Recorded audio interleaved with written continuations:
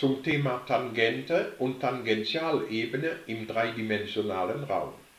In dieser Ebene OX, OY bestimmen wir diesen Punkt mit Koordinate XY.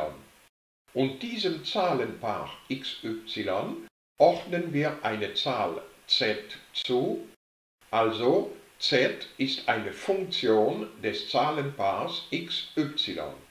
Diese Zahl z wird hier als Lot eingezeichnet. Und so entsteht der Graph einer Funktion f mit zwei Variablen x, y. Dieser Graph ist also eine Fläche im dreidimensionalen Raum. Betrachten wir diesen Punkt P dieser Fläche mit Koordinate x0, y0, z0. Und jetzt schauen wir diese Ebene Alpha Index x mit kartesischer Gleichung y gleich y0 die Ordinate vom Punkt P. Es handelt sich hier selbstverständlich um diese vertikale Ebene, die parallel zur x-Achse und durch den Punkt P verläuft. Der Schnitt dieser vertikalen Ebene, die ich hier Alpha x genannt habe, mit dem Graph der Funktion, das ist diese Kurve. Schauen wir uns das an.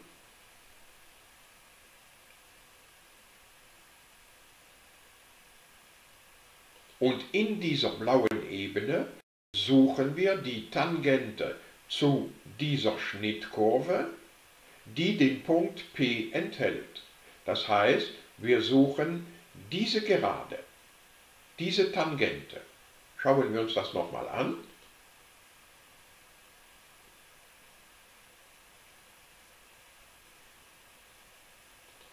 Der Steigungsfaktor dieser Tangenten in der blauen Ebene wird berechnet durch die partielle Ableitung dieser Funktion f nach der Variablen x.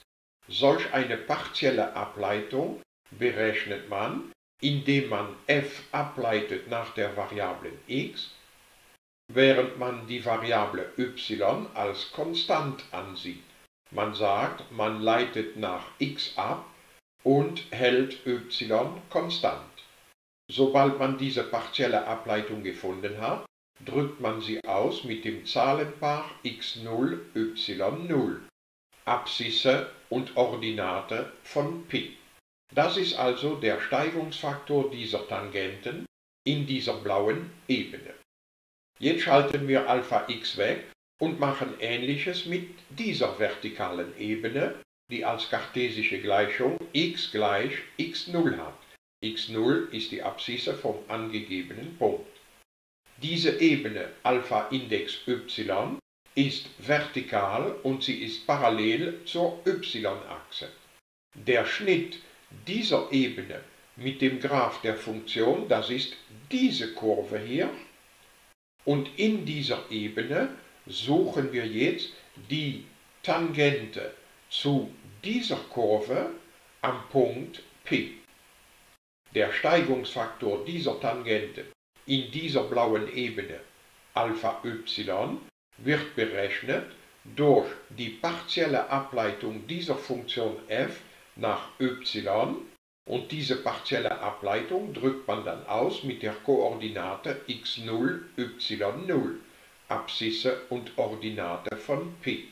Um diese partielle Ableitung nach y zu berechnen, leitet man diese Funktion f nach der Variablen y ab, indem man x konstant hält.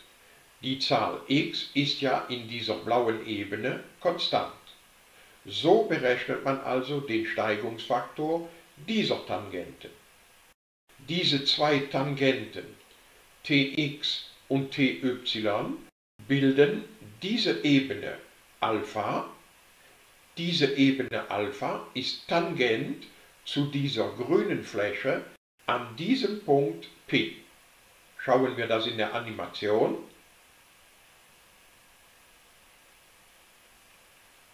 Diese Magentafläche, gebildet durch die zwei Tangenten Tx und Ty, ist effektiv tangent zum grünen Graph der Funktion.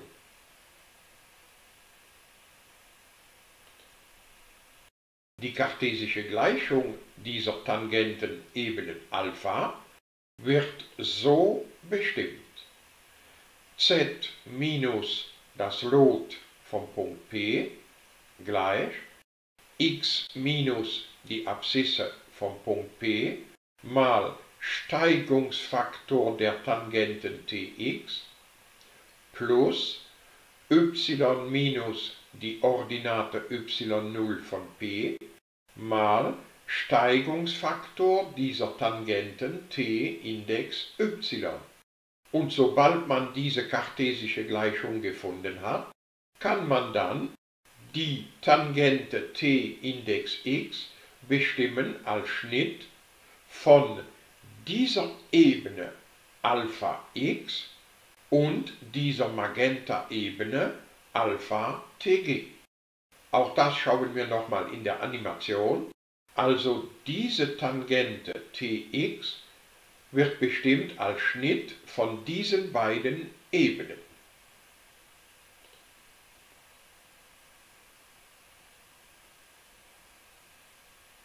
Deutlich zu erkennen.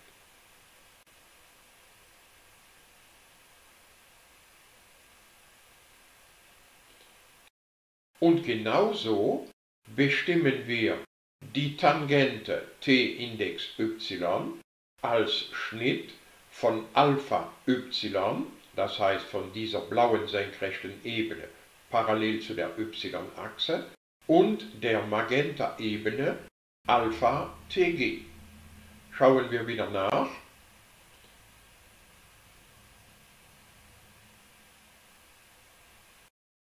Diese Tangente ty ist effektiv der Schnitt von der Magenta-Tangentebene und von dieser blauen vertikalen Ebene.